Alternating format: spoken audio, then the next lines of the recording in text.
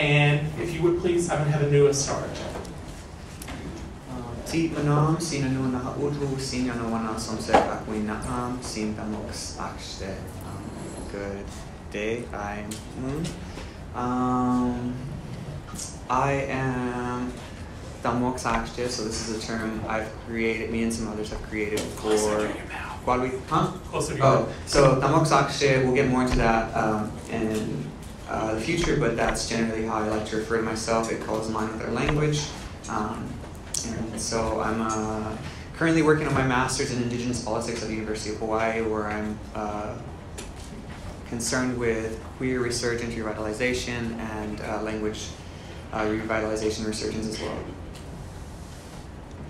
Hi guys, uh, my name is Ja Randolph. Um, I am black and indigenous, um, hailing from Dominican Republic. Um, so I have some Taino, and then my father's side is African American. So I have a background of Seminole, possibly Cherokee connections that I'm still looking into and learning uh, my genealogies for. But um, I'm just very proud to practice Afro indigeneity in kind of everything that I do. Um, and I identify as non binary. Um, as I continue, you know, learning about both traditional um, African cultures and my indigeneity as well, I think I'll find those labels that kind of align with two spiritedness.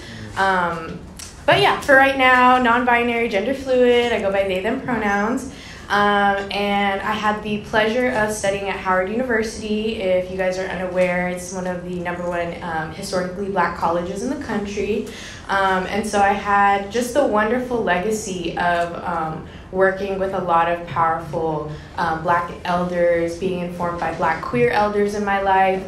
Um, and yeah, I'm so excited to share all I have with you guys today. So, thank you. Arupora Pameupe. Um, good morning, everyone. Chiriduma Kwarahu Jajai. My name is Sunshine uh. I come from like South America, also known as Abya Yala Sud.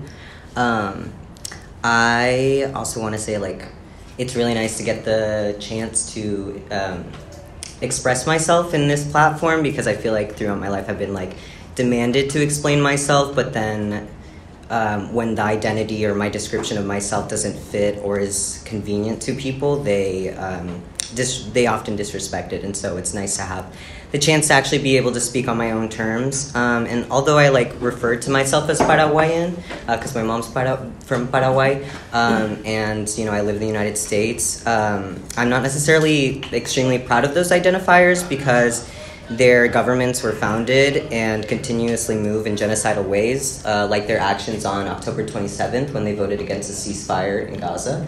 Um, and I just want to say that Indigenous solidarity is also Palestinian solidarity. Um, yeah, Yeah, if we could just take a moment to really think about those things, know, just, yeah.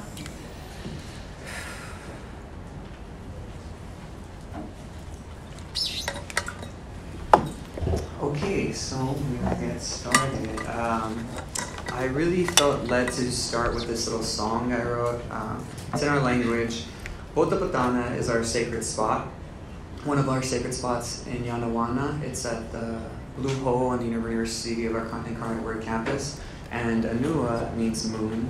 Uh, Nakakawa is I love you. So there's obviously a relationship, one between Anua the moon and Potopotana. Um, which is the sacred waters. But as well, I think uh, the lesson of spirituality that I've learned from my people and the Nua is that the moon is ever changing from full to not being there, and it, it encompasses and represents this type of um, spectrum.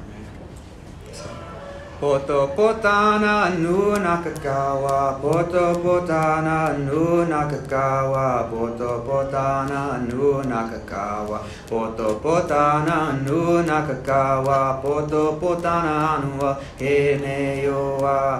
poto potana nu nakakawa, poto potana nu nakakawa, poto potana nu nakakawa, poto potana nu nakakawa, poto potana anua heneua.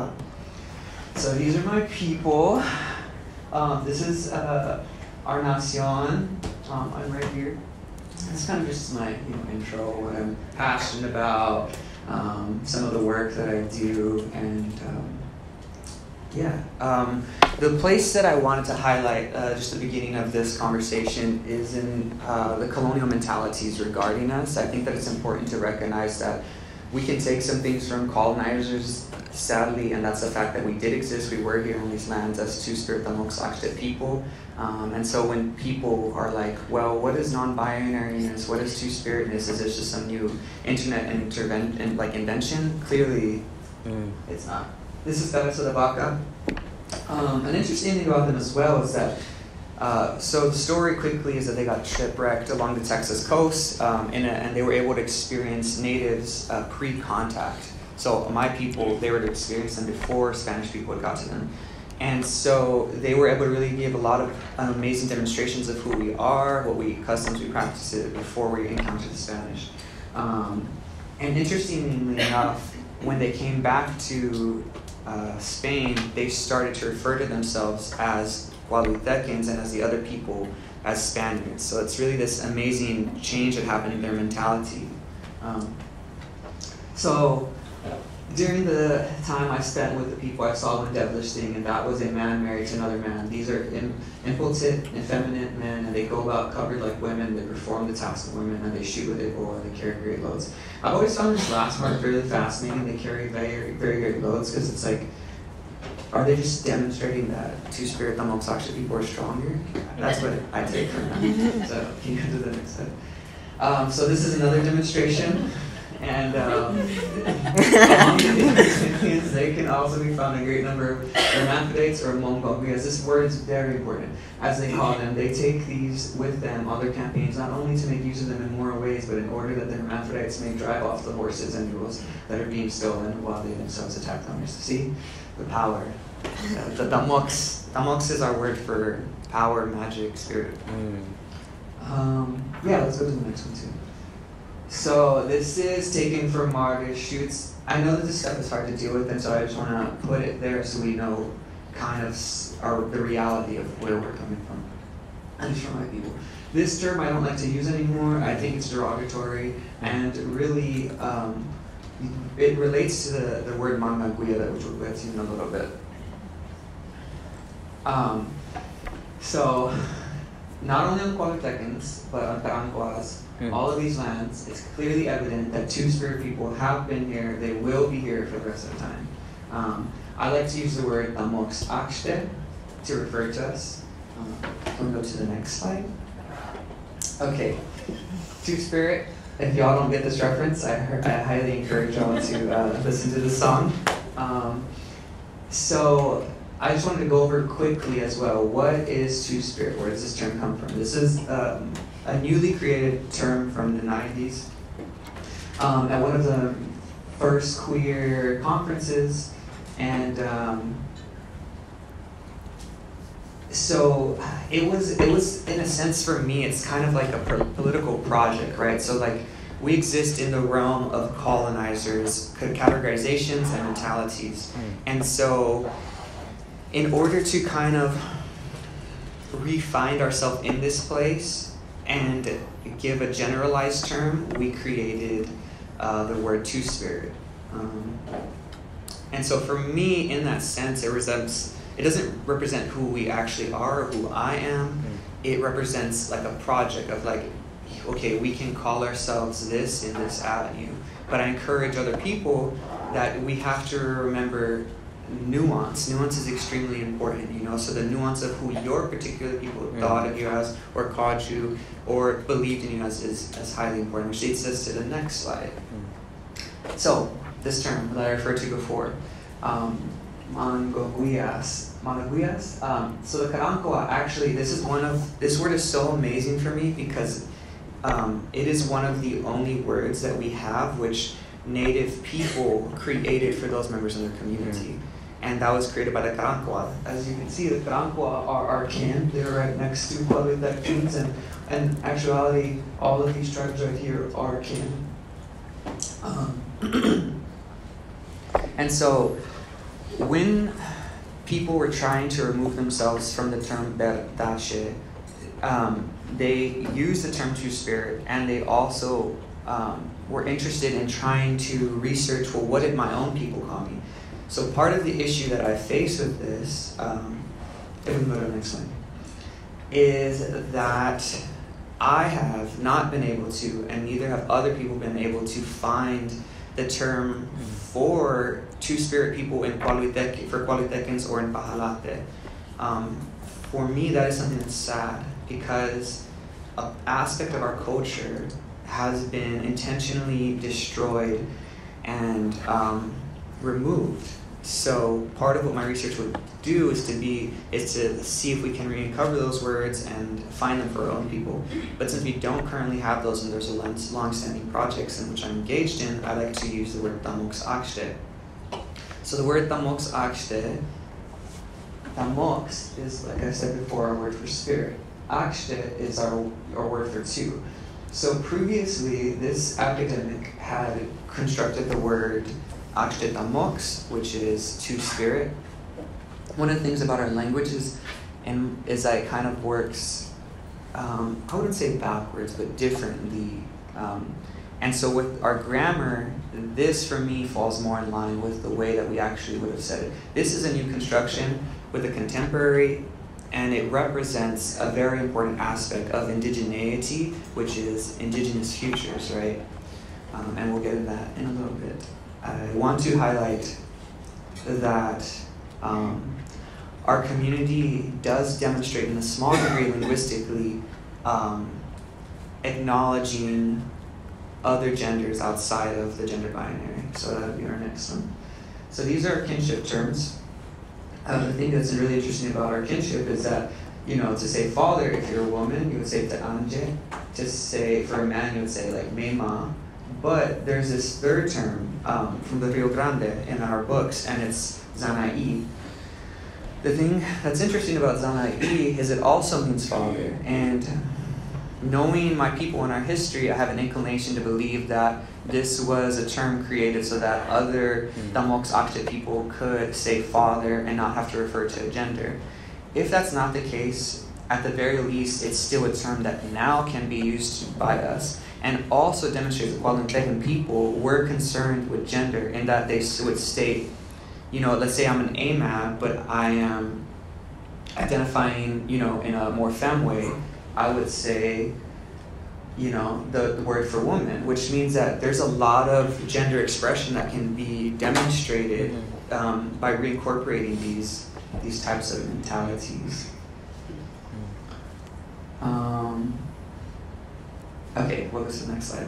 There, there's a lot to break here because the whole system of even love, right, the whole system of everything is dependent upon this categorization by settlers. And so we, we kind of have to know a little philosophy to kind of like remove ourselves from those things, understand terms of like essentialism, uh, indigenous, Afro-indigenous futures. Um, so when it comes to this particular side, you have to think that the Spaniards, right, when they came to this land, they were incorporating a type of social structure that was dependent upon, quote unquote, some views of the Bible, but also wanted to emulate the royal authority, which is to say they had a king, a queen, and that that was the standard for families. Um, we in these lands did not work that way.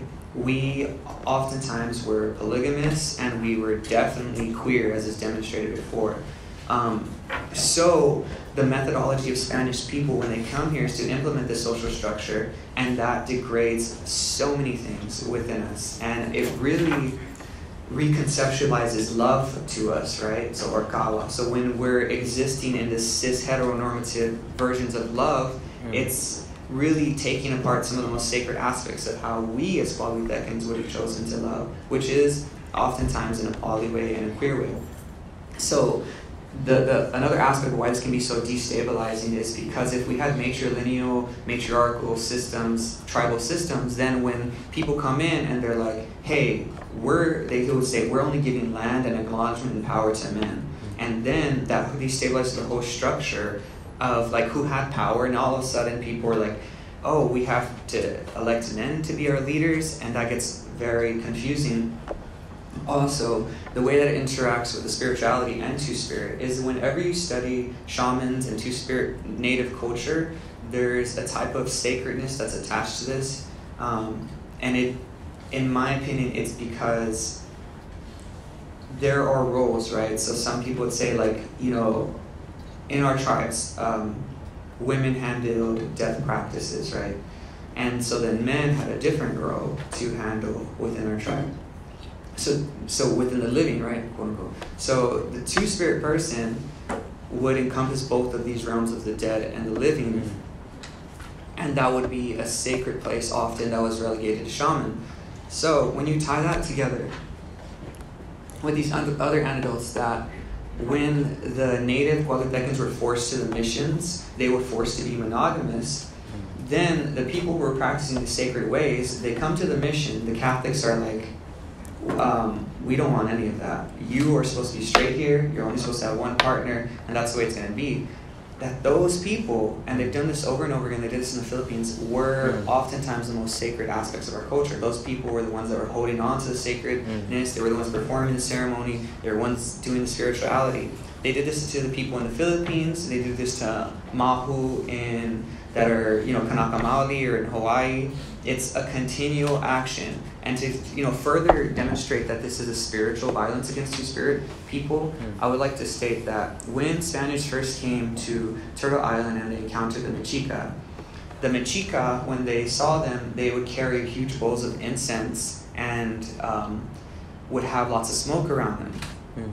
So the Spaniard people interpreted this that they thought they were gods that's not the case at all. And I'll give you another example. When um, Cook first landed in Hawaii, Hawaiians did the same thing to these colonizers. They were like, "Oh, let me give you my cloak. Let me, you know, give you smoke and uh, give you incense."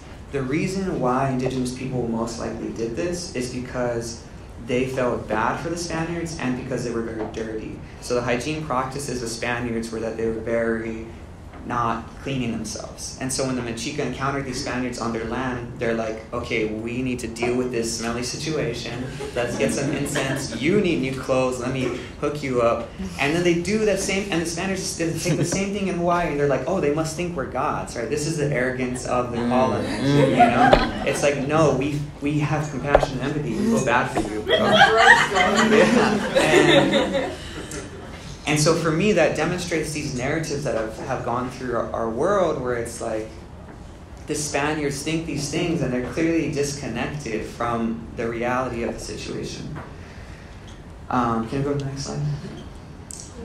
So this part is super important to me and something I also would like to highlight because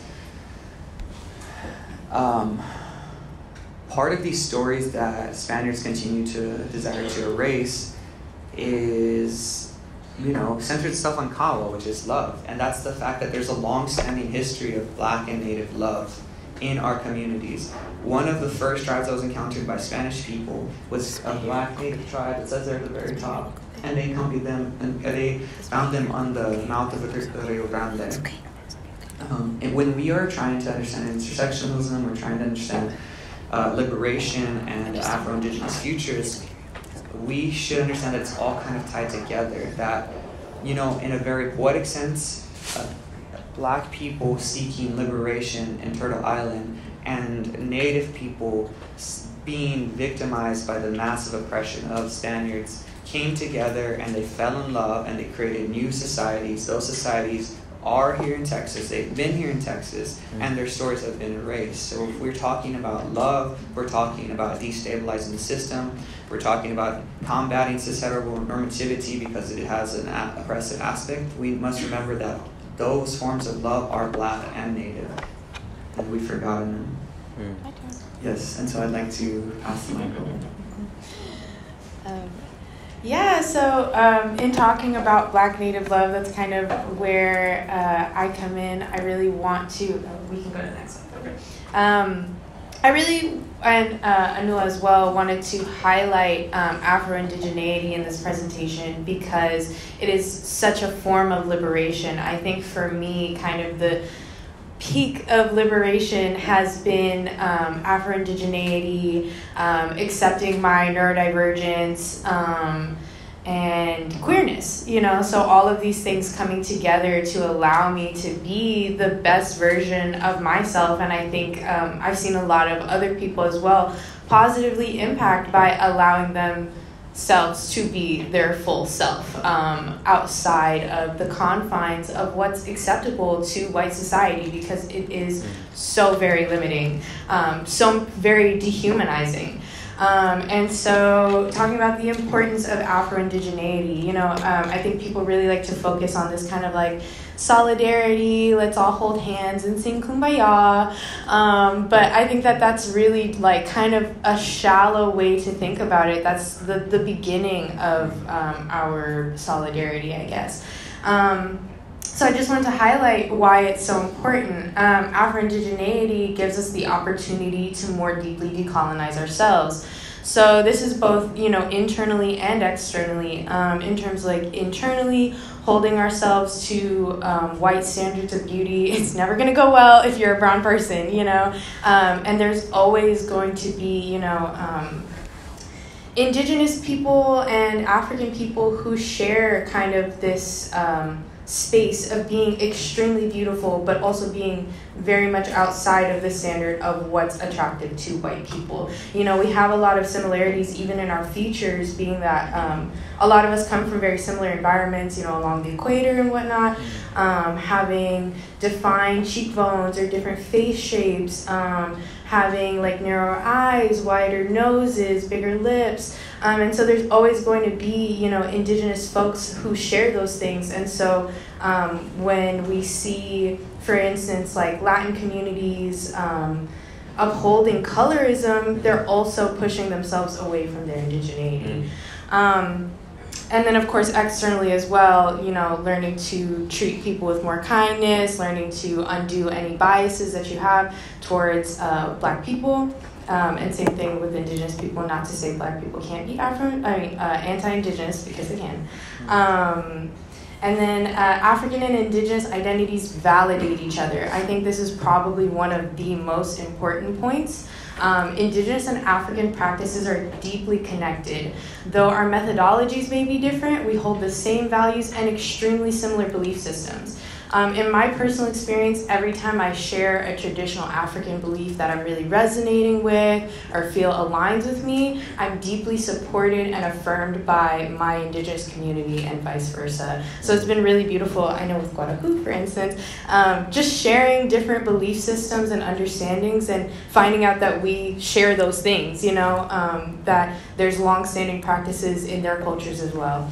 Um, and so through that, we can just kind of like tune even more into our magic by being constantly validated mm. of that magic. You know, it's very hard in a white society to um, to feel like we are really the spiritual, powerful beings that we are. You know, we could say like yo, I made it rain today. Like, I prayed for rain all day. I needed it. It was too hot. I was going to have a heat stroke, and I was praying, and it came, you know? And white society will tell us, like, no, babes, that's just the weather, you know? But we know our power, and we have to tune into that power. We have to genuinely believe um, that we do have an effect on the environment around us because, I mean, these things are proven by, um, you know, like quantum physics and things like that, um, that we have an effect um, on the world around us. Plants can read energy, you know, like all of these things, they talk, um, even though we can't hear them. And so, yeah, so being validated by each other and by the fact that our practices are so similar and deeply intertwined only allows us to be more magical beings. Um, and then, of course, Afro indigeneity expands our teachings, adding new practices and methodologies in an exchange of knowledge. Um, it's really important to think of knowledge as um, I mean, as uh, culture as an exchange of knowledge. Um, culture is not just like, oh, we eat this thing because it's fun. Like, we eat these things because we've been practicing and learning for thousands of mm. years how to utilize these things to make it fun, you know? Um, and so when we think of culture as an exchange of knowledge, um, as we're sharing our cultures with each other, we're also sharing knowledge. You know, um, we're finding new ways to move and push energy, um, to pray, to feel more connected with our environment, um, and so that only enriches us more. And then lastly, um, Afro indigeneity gives us a better, fuller view of history.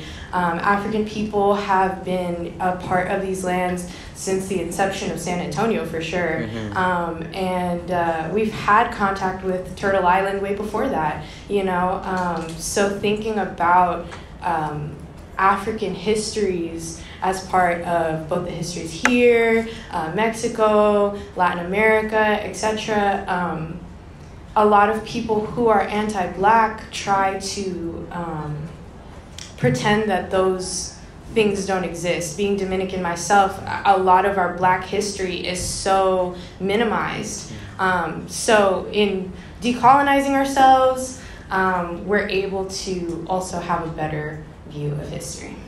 Next slide. Um, so I wanted to talk about Afro-Indigeneity in San Antonio a little bit. Um, as uh, an Afro-Indigenous person myself, coming to these lands, you know, it was honestly really unfortunate that I didn't see a lot of representation. There aren't a lot of black spaces still. Um, and so creating more black-led spaces, uh, I think is going to be really important in all of our liberation.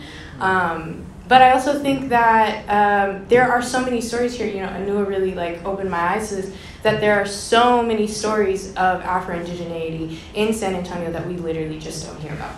So some of these pictures. Um, this one, I believe, is around 1970. This is from Fiesta Negra at um, St. Philip's College. Um, this one is, you know, cowboy vaquero. Um, Vicente Guerrero. Um, he uh, he was the uh, president of Mexico. If you guys didn't know, so he wasn't in San Antonio, but I wanted to include him because Afro-Indigenous excellent stuff. Um, and then Rebecca Clay Flores, I believe she's a commissioner. Uh, I don't know. Oh, precinct one. Um, I think she's awesome. Um, Mario Marcel Salas is a writer um, who gave me actually a lot of the information on the next slide. And then we have the Chili Queens. Uh, if you guys haven't heard about them, um, they basically helped popularize a lot of what we consider Tex-Mex foods. Um, and they were indigenous, mostly women, um, who were street vendors and who really popularized um, a lot of these foods to like white audiences. And uh, I included this picture because there's no confirmation that they're Afro-Indigenous, but you know you can kind of see it in their hair. Um, and I think that one reason that you know so many of these stories are lost is funny enough. Um, I think that because we share a lot of similar features, um, when we have kin, uh, you know, you can't really distinctly pull apart what features are African and what features are indigenous a lot of times. Like, we really just like pass, you know? Um, and so, a lot of times, um, people will be, you know, they'll have very indigenous features and like darker skin or vice versa. Um, and you know you might be able to see it a little bit in the hair and certain features but really i mean i think we just kind of meld really well into like a beautiful melanated people that you know um, there's no clear distinction that shows like you know these are afro-indigenous people. And then the last picture is anua as a baby and their daddy. Um, so uh, just another example of like you know a real world Afro-Indigenous person living in uh, who um, mostly identifies as Mexican, I believe. Um, but you know, you can still see it. They still live the reality of it. Um, so yeah, go to the next slide, please. Um, so black people have been a part of the story of San Antonio since its inception and have faced segregation since its inception as well. So um, a lot of people, and I'll, I'll run through these quickly, but um, the Canary Islanders, um, people talk a lot about them because they established the first chartered civilian community in Texas, and then later that year uh, created the first mu- municipal government in Texas. Um, and it's really interesting because they're Spanish, they kind of like identify as Spanish. But if you look on the map here, where the Canary Islands are is much closer to Morocco, to Africa. And if we're thinking of the 1730s, the Morocco that we know today is a lot more mixed. There's been a lot of colonization from Europe, so um, ni- uh, 1731, they would have been a lot uh, more brown skinned. But of course, it was still a mixed group of both like darker skinned and lighter skinned Canary Islanders. So, um, yeah, the uh, darker skinned Canary Islanders were segregated after getting here, after settling. Um, and to me, I feel like you play white people games, you get white people prizes, you know? um, so it says racially conscious islanders associated blacks with slavery and lower class status. Class or castas de- uh, designation established social standing, and persons identified as whites were held in higher esteem than the darker Indians and blacks. Islanders' attitudes reflected these views and physically dissociated themselves from the darker residents. A separate community, Villa de San Fernando, was established by the islanders on the west bank of the San Antonio River, leaving Villa de Béxar uh, east of the river, as the residents of blacks, mission Indians, and racially mixed. I always find that interesting. And I also, this is the map here, so I think it's like also a very interesting point to use, you know, such a sacred um, spiritual river, you know, uh, but literally these like living spirit waters as a line for segregation. And so that itself is kind of its own um, spell on the land, you know. Um, you go to the next slide. Um, and then we, of course, have cowboy and vaquero culture. Um, if you guys didn't know, uh, black and indigenous people were a pretty large proportion of cowboys in Texas. Um, and I wanted to highlight this not only because we were working alongside each other, but you know, we have to think about the continual legacy of these things um, as these families maybe settle down in their own land in rural areas and just continued um, to mix. I spoke yesterday with um, the director of the Texas Heritage Project at AIT, uh, Rudy de la Cruz, and I was asking him if he had any like readily available pictures of like clearly Afro-Indigenous people that he had scanned into the archives. And he talked about how you know in his own family um, out in the ranches, like you can see, you can see that they're mixed um, because they just continue to mix out there. So I like to think of that as like, you know, how many stories of Afro Indigenous love, of Afro Indigenous queerness probably existed in those spaces that we don't know about. Um, and then the last thing I wanted to highlight was the Mascogos del Coahuila. Um, so I just think that they're a really beautiful example of an Afro-Indigenous culture. If you guys haven't heard of them, um, they originally escaped from southern plantations. So they were uh, uh, enslaved Africans who escaped from southern plantations in the 1600s and 1700s to go to Florida, um, which at the time was free land, um, and they became Black Seminoles, which in Spanish is Mascogos. And then uh, after the signing of the Indian Removal Act in 1830, uh, the Mascogos were removed along the Trail of Tears to Oklahoma with the rest of the Seminoles. Um, and then in July of 1850, the Mascogos fled south through what is now Eagle Pass, Texas, and settled two hours away in Nacimiento, Coahuila. So I just think they're like a beautiful story. They're very close by, um, you know, and uh, yeah, you guys should definitely check them out. Next slide. And then talking about queer San Antonio, and you know, from the pictures you can see this was clearly an Afro Indigenous space, and we continued to enrich uh, and liberate each other. Um, so there are plenty of queer bars uh, between the 1940s and 70s, of course, having to be like hush hush. Um, they had to fight with the May Act, which um, basically tried to restrict homosexual behaviors and so like crack down on queer bars and stuff. Um, and um, which is really unfortunate of course. Um, but yeah you can see that we still had you know beautiful times of just joy um, together.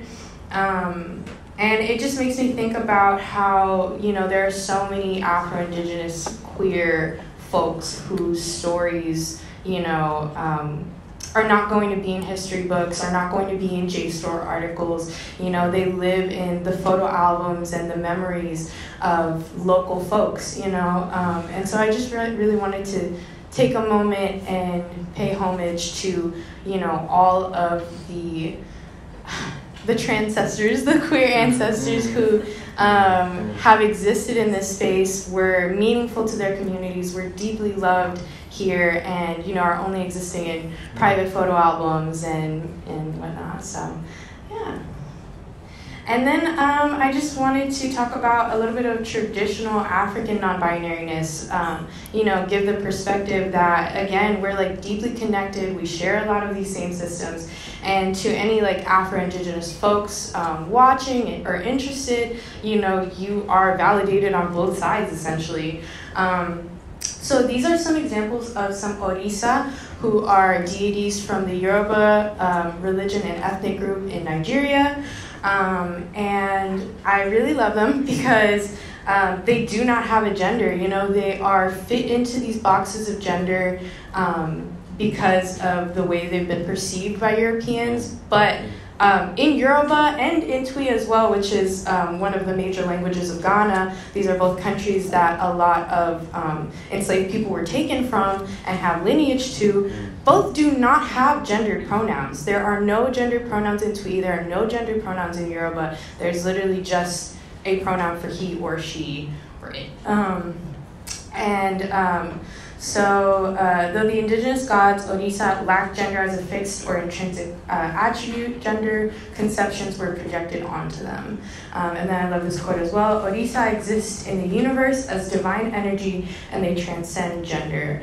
Um, yeah, so basically they represent energy, and though they can take on like mask or femme forms, um, they do not have a gender. So this is uh, Obatala. Um, they were the creator of humanity. Um, they are androgynous. Um, and then there's this one here, Osumare, who is a kind of lesser known Orisa. There are actually over 400 Orisa. Um, and I think they're really beautiful to highlight because they're specifically the Orisa of the rainbow and of androgyny, um, which I think is just such a you know cool coincidence, um, if you want to call it that. Um, and so, talking about them a little bit, Osumare is the divine rainbow serpent that connects one's destiny to the inner self through a colorful path. This powerful Orisa provides an infinite gateway of immense personal power, thus making them the Orisa of cycles, transformation, movement, balance, and permanence.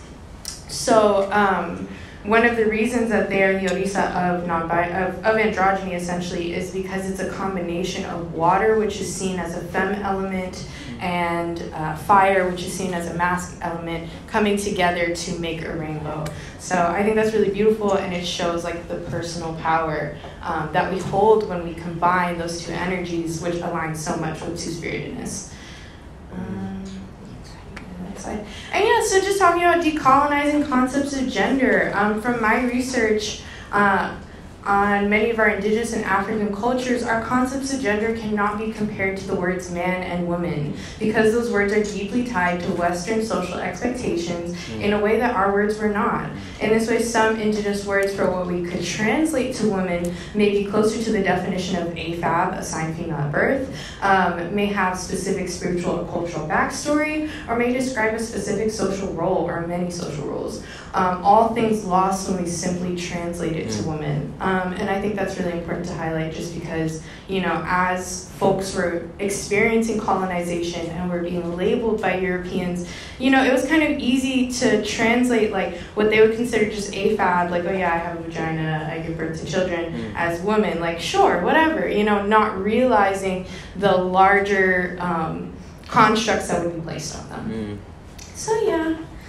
Um, we are going to go over this in a little bit. I just went to Wahoo space. Yes. What am I? That was beautiful. That was amazing. I wasn't aware of all of that, and that's beautiful. Um, I wanted to talk about uh, the the grammatical structure of tamosh. ashte. Tamok ashte. Tamok tamok ashte. Mhm. Um, in uh, Tupi Guarani uh, cosmology, uh, we have Nye Mokwe, and that is spirit or voice too. So similar to Tamosh, Tamosh, Tamoks. Tamoch, Ak- Achte. Ashte. Ashte, okay. Um, yeah, it's very it's similar in that way. Also, my uh, my teacher who I learn a lot of these things from because my mom is from Paraguay. She speaks um, Alañe, which is uh, the Paraguayan dialect of Guarani, but I don't have access to learn uh, in that way, and so I am learning through um, a different dialect, uh, Nyandewa Guarani. and so there's a lot, a lot of our teachings that we learn. Uh, they expand over like the region. They don't just stick to like a country. Um, but I feel like through my teachings, like through learning, I, I identify mostly with that um, identity. Um, Yeah. Awesome. Yes, awesome. We need to all create our own terms from people. Okay, so this kind of ties everything together. So essentialism is a conceptualization that I would state you are a woman, this is what a woman does, and this is how a woman acts, right? Or you're a native, this is what native people do, this is how native people act.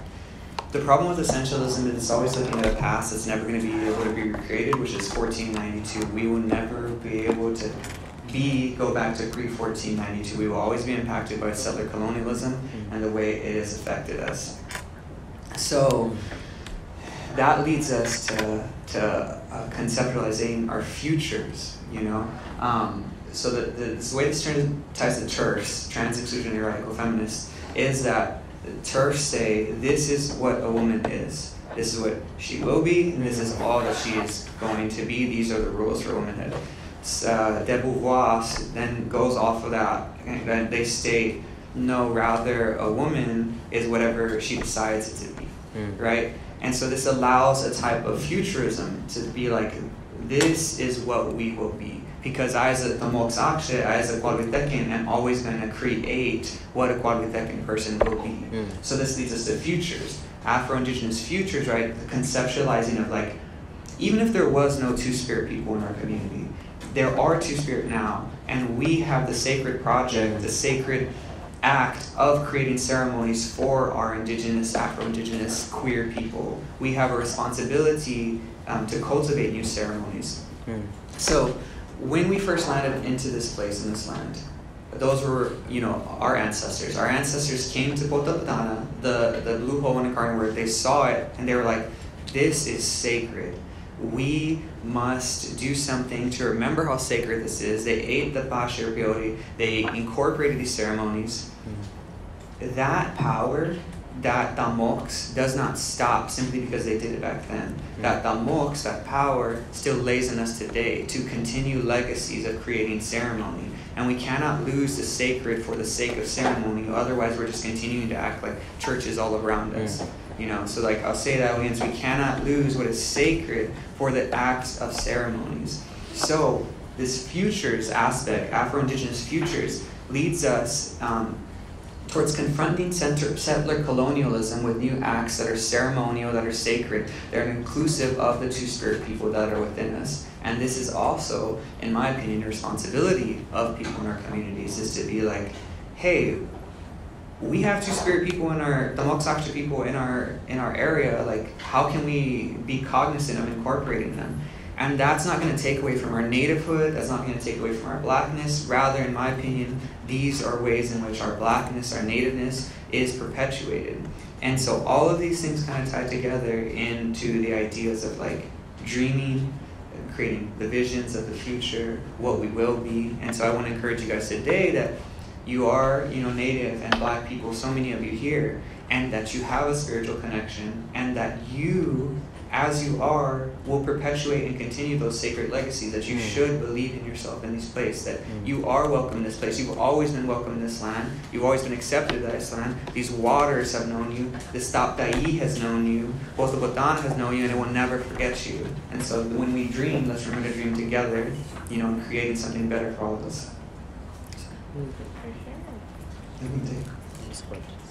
Oh, this is awesome. This is a secret power. Um, so if you want to go if some of y'all want to like be aware of this thing, they have like a Zoom thing that happens all the time. Hmm. It's really cool. Um, it's called BAAITS American Indian Two Spirits. It's cute. And uh, have you guys seen this movie? Lattes. Okay. Yeah, um, I just wanted to um, make a distinction really quickly. You know, um, in my presentation, I started off with, um, you know, black folks in San Antonio, and the inception of San Antonio itself has come with, you know, um, segregation essentially, um, even in the beginnings. And so um, at the end here, thinking about you know blackness in Yanaguana, what does that look like? You know, we've never really had um, black folks here who have not been. Um, you know, under the oppression of whiteness, of white systems, of white ways of being, of white discrimination. Um, and so, yeah, thinking about our futures by, you know, really connecting to the land and understanding that um, we have the responsibility to build something that is more inclusive than San Antonio has ever been. Because this is not San Antonio, this is Yanaguana, Mm. like this land. You know, San Antonio is what was put on top of it.